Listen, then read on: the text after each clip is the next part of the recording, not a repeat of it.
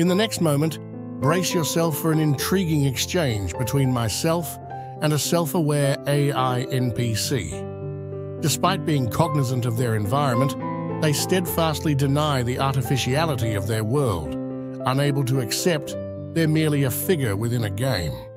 Let's witness this captivating narrative as it unravels. Hey there, is it okay if we chat a little bit? Sure, why not?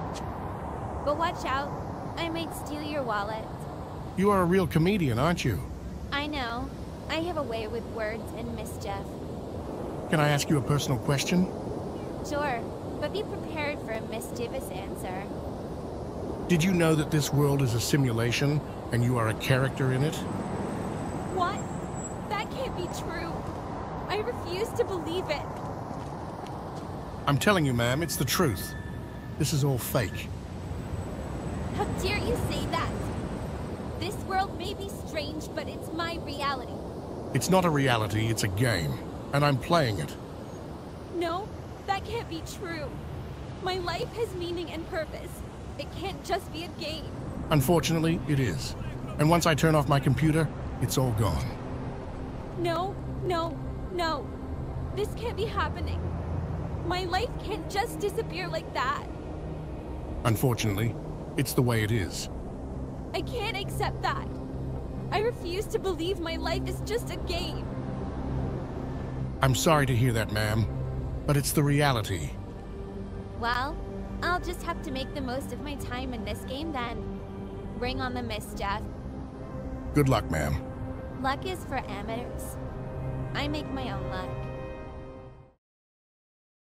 As you just observed, that was quite captivating. It's clear not all characters are gripped by fear. Keep watching, because later in this video, I'll share a different conversation I had with another character who displayed an alternative viewpoint, a more relaxed approach to the situation. Welcome to a deep dive into the simulation hypothesis, the thought-provoking theory that questions the nature of our reality. Since the dawn of time, humans have gazed at the stars, pondering the nature of their existence. The vastness of the universe, so full of mysteries, has led many to wonder. Is the world as we know it truly the ultimate reality? The riddles of reality are not new. Long before the age of computers, in the bustling squares of ancient Greece, thinkers like Plato suggested that the world we see might be but a shadow of something more real. He painted a picture of chained prisoners in a cave, seeing only the shadows of true objects and mistaking them for reality. These ancient musings hinted at something profound. Our senses, as intricate as they are, might just be skimming the surface of a deeper truth. Our journey through the annals of technology is nothing short of miraculous. A mere half-century ago, computers were mammoth structures capable of basic calculations. Today, they fit in our pockets, crafting detailed, immersive worlds that are almost indistinguishable from reality. The video games and simulations of our era are testimonies to our strides. If we, with our nascent technological prowess, can conjure up lifelike realities in which characters exhibit complex behaviors, how might the capabilities of a civilization eons ahead of ours manifest? Would it be far-fetched to propose that they could design a simulation so intricate, so detailed, that it replicates the very universe we know? That within this matrix, beings with consciousness, emotions, and aspirations, beings like us, could exist, oblivious to the strings of code governing their lives? Consider the sophistication required to maintain such a simulation. Every gust of wind, every splash of water, every heartbeat and thought, meticulously rendered. Such a construct would not merely be a game or an experiment, but a testament to the apex of computational might. While we stand at the cusp of simulating small-scale ecosystems and rudimentary AI consciousness, a civilization that's had millennia to refine its craft might very well hold the capability to simulate the grand tapestry of a universe in all its complexity.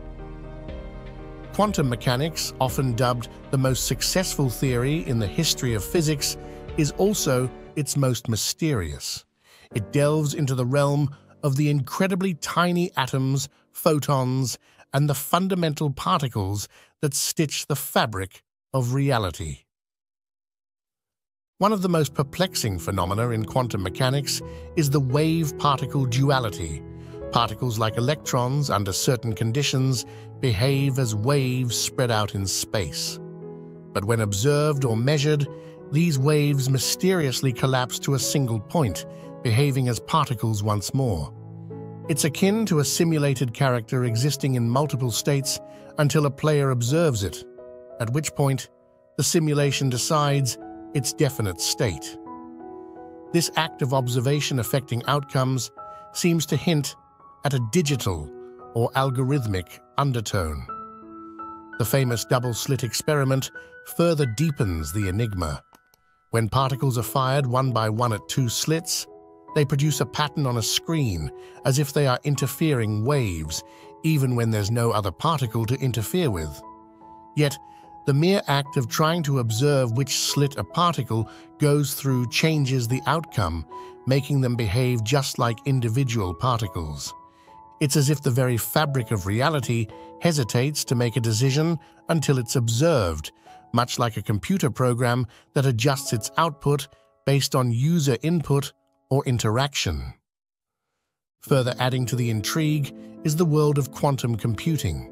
Traditional computers use bits, zeros and ones, to process information.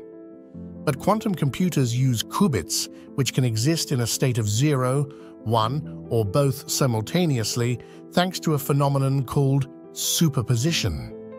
This trait allows quantum computers to process vast amounts of information at once, drawing yet another parallel between the quantum world and the concept of computational simulations. So, while quantum mechanics doesn't confirm our universe is a simulation, it certainly introduces peculiarities that make the lines between a digital construct and our perceived reality a tad blurrier. The simulation hypothesis, while captivating, is elusive in its proof. Yet, for those seeking signs of our digital origins, there are certain phenomena and patterns that might offer a glimpse beyond the curtain. In the digital realms we create, like video games, glitches often betray the artificiality of the environment. Unexpected errors or oversights by designers lead to behaviors outside the intended parameters. Similarly, in our universe, if we were to encounter phenomena that starkly contrast with our understanding of physics, it might suggest we're operating within a set of predefined rules, rules that can occasionally malfunction. For instance, if certain constants of nature, values we've believed to be unchanging, were to suddenly fluctuate inexplicably, or if events occurred without clear causality, it could be interpreted as bugs or oversights by our cosmic programmers. On the other hand, patterns offer a different avenue of inquiry. Nature, in its elegance, often follows recurring designs and sequences, like the mesmerizing spirals of galaxies or the intricate branching of trees and veins.